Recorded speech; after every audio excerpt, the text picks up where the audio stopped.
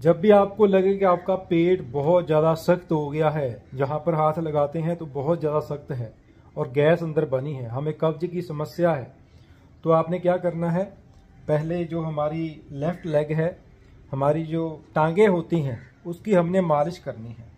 आपकी मर्ज़ी है, अगर आपने जहाँ पर सरसों का तेल लगाना है तो लगा सकते हो, नहीं लगाना तो आप ऐसे भी कर सकते हो। आपने इस तरह से बैठ जाना है।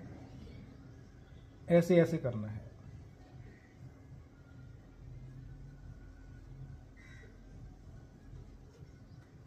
इन अंगूठों से हमने ऐसे एक्सरसाइज करनी है। जब हमारा पेट सख्त होगा तो जहाँ पर भी गांठें बन जाती हैं, ठीक है? तो उसको आपने ऐसे ऐसे खोलना है।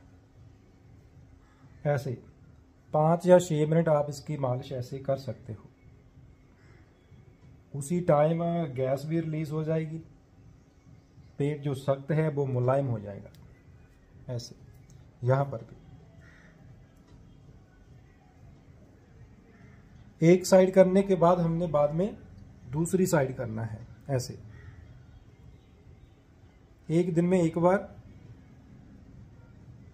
अगर पेट में कोई दर्द है तो वो भी ठीक हो जाएगा।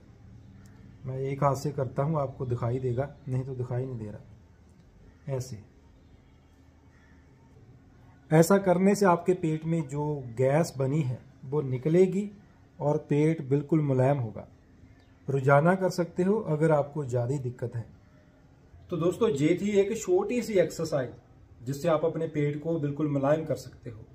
इसके साथ अगर आपको ज़्यादा दिक्कत है मतलब आपका पेट हर रोज़ सख्त रहता है, आपको वो कब्ज की समस्या रहती है तो आप सौंफ का पानी ज़रूर उससे आपको बहुत सारा फ़ायदा होगा।